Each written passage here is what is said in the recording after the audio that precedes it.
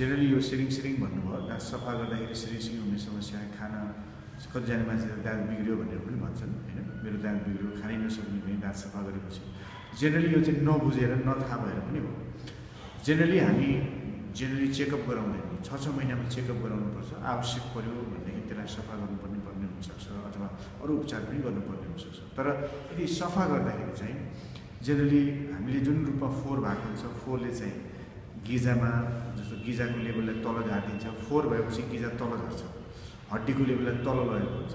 र जुन दाँत हुन्छ दाँतको चाहिँ एउटा कम्मर जस्तै हुन्छ। त्यो कम्मरलाई चाहिँ हामी सी जङ्सन भन्छौँ सिमेन्टो एनामल जङ्सन त्यो जङ्सन भन्दा त्यो जङ्सनको भाग चाहिँ झन् झन् बिसदेखि तिस प्रतिशत भाग चाहिँ त्यो चाहिँ खाली हुन्छ। यदि त्यो गिजाको भाग तल गएको छ यदि गिजाको तलको भाग गिजाको भाग तल गएको छ हड्डीको भाग तल गएको छ भने त्यो भाग ओपेन हुन्छ। अनि त्यो जराको भाग देखिन्छ। जराको भाग पनि पर्मेबल भनेको त्यो हिँड्न सक्ने हुन्छ। त्यसमा चाहिँ तातो चिसो हिँड्न सक्ने हुन्छ। जसले गर्दाखेरि सुरुमा चाहिँ त्यो फोहोरले ढाकेर राखेको हुन्छ। किनभने हामीले कहिले सफा गरेकै छैनौँ होइन? डाक्टरलाई देखाएकै छैनौँ।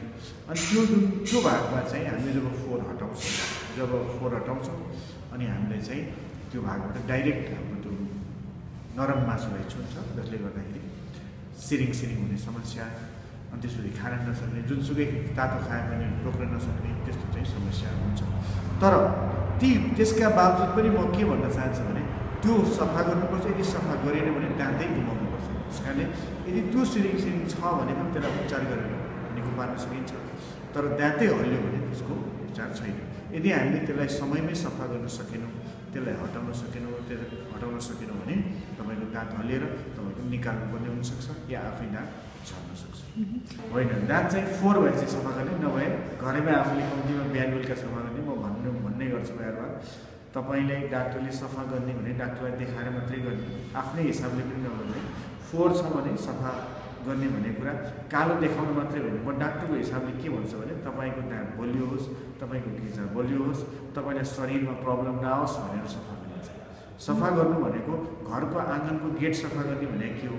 शरीरभित्र त्यो घरभित्र पस्ने बाटो सफा गर्नु भनेको तपाईँको बेडरुम सफा गर्नु पनि हो।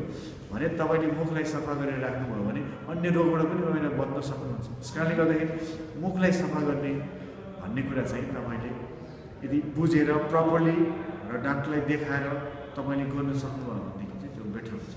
यस्तो छ। अब तपाईँको कुन कुन कन्डिसनमा छ? यदि तपाईँको चाहिँ गिजा जुन फोहोरले गिजा खाइसकेको छ हड्डीको लेभल खाइसकेको छ भने तपाईँले चाहिँ त्यसलाई प्रपरली रूपमा इनिसियली चाहिँ एक दुई दिन त दुई चार दिन अथवा दुई तिन हप्ता जति तपाईँले त्यसको जस्तो तातो चिसो नलाग्ने चिजहरू औषधिहरू युज गरेर तपाईँले बिस्तारै धेरै तातो धेरै चिसो खान सक्नुहुन्छ।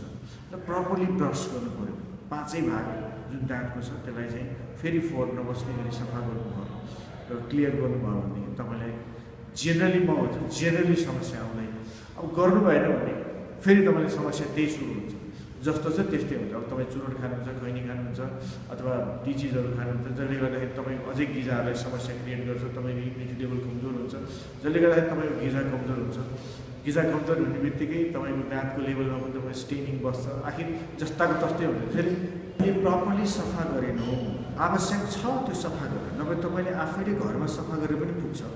यदि तपाईँले राम्रोसँग सफा गर्न सक्नुभएको छैन फोहोर जम्मा भएको छ भने त्यसले त तपाईँको डिफ्रेन्ट समस्याहरू ल्याउन सक्छ।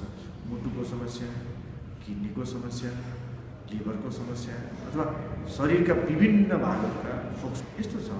अब तपाईँले फोहोर राख्नुभयो तपाईँको गिजाबाट रगत आइरहन्छ भने त्यो तपाईँले सामान्य गिजाबाट रगत आइरहने भन्ने पनि मान्न सक्नुहुन्छ। त्यसलाई चाहिँ तपाईँको अरू नै रोग डेभलप भइसक्यो हुनसक्छ अब तपाईँ तपाईँको ह्याबिट के छ? पर्सनल ह्याबिट चुरोट खैनी के खानुहुन्छ? होइन चुरोट खैनी पानपरा गुटका केही खानुहुन्छ तपाईँ?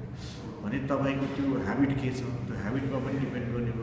तपाईँको रगत आइरहेछ अथवा तपाईँको सुन्निरहेछ गिजा अथवा मुखमा घाउ भइरहेछ घाँटीमा घाउ भइरहेछ। तपाईँले चाहिँ नर्मली ती कुराहरूलाई केयर गर्नु भएन भने तपाईँको ब्याक्टेरिया लेभल त्यो मुखभित्र बस्दाखेरि चाहिँ एनोरोबिक ब्याक्टेरिया जस्तो एनोरोबिक ब्याक्टेरियाले मुखलाई पनि असर गर्छ भने पेटलाई पनि असर गर्छ।